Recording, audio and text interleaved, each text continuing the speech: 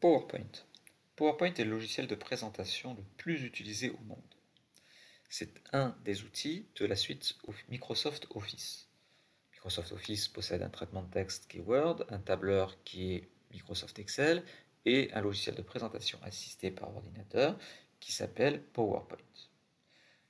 Le fichier s'appelle une présentation. À l'intérieur se trouvera un ensemble de slides, c'est-à-dire de pages, de documents, que l'on appelle donc soit des slides, soit des diapositives. On va donc démarrer PowerPoint.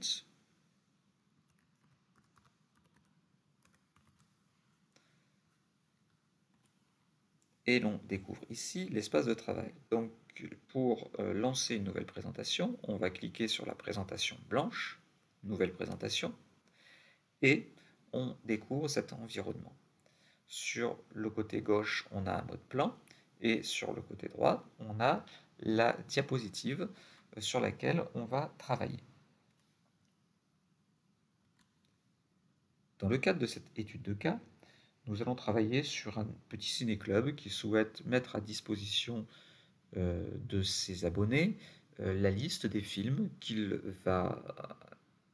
vont voir euh, au cours du mois de juillet. On a démarré donc une nouvelle présentation PowerPoint. On va basculer dans un mode plan pour pouvoir indiquer les différentes informations que l'on veut avant de rédiger correctement la mise en forme des différentes diapositives pour basculer en mode plan, on va cliquer sur le menu Affichage. Puis, ici, dans les modes de présentation, nous sommes actuellement dans le mode normal, on va basculer en mode plan.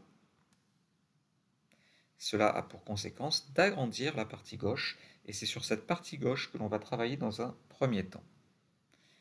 Le contenu de notre première diapositive, c'est en juillet, puisque c'est la programmation du mois de juillet. Une fois que j'ai écrit ce texte, j'appuie sur Entrée. Et on voit que cela crée automatiquement une deuxième diapositive. C'est parce que je souhaite, en fait, en dessous du texte en juillet, j'aimerais pouvoir euh, mettre en sous-titre le texte première quinzaine. Donc je vais appuyer sur Tab. Cela va décaler le texte et je vais pouvoir écrire première quinzaine.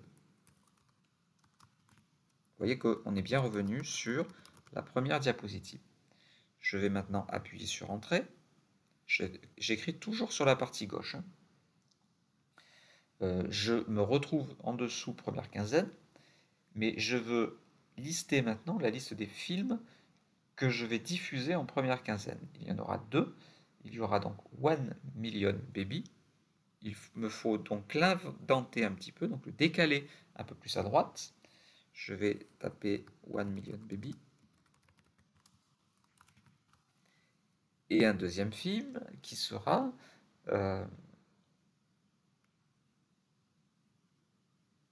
qui sera Pirates des Caraïbes.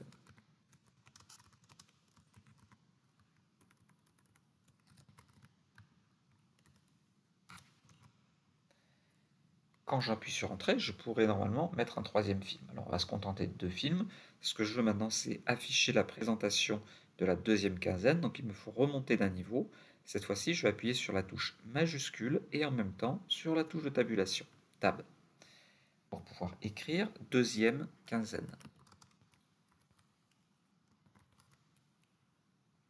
J'appuie sur Entrée. De la même manière que tout à l'heure, je vais appuyer à nouveau sur Tab pour créer une indentation, donc un décalage vers la droite, et je vais indiquer le film de la deuxième quinzaine. Il s'agit cette fois-ci du film Podium. Ceci étant fait, nous avons notre première diapositive, le plan de la première diapositive de terminer.